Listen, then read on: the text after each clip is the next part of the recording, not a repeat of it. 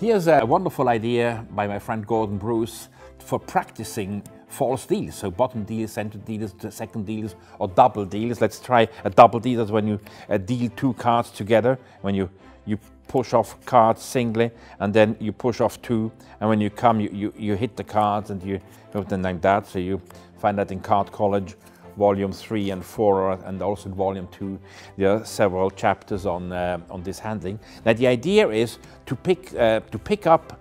Um, a title, a longer title, like which is in bold, and to deal normal cards on the uh, consonants and on the vowels you do the special deal, second deal or the double deal. Now the, the good thing about this is that you, this is a, a practice which you don't prepare.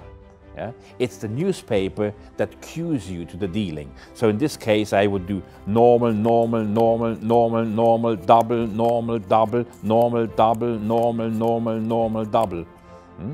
Because I'm just going after uh, the, the words on the, on the newspaper.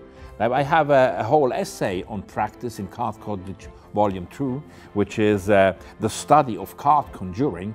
And um, I'm sure you would profit a lot if you reread that. And there are also two other items on practice and rehearsal in Hidden Agenda. One is July 31, cross-reference practice, and the other one is November 15, seven tips on practice that uh, are very practical.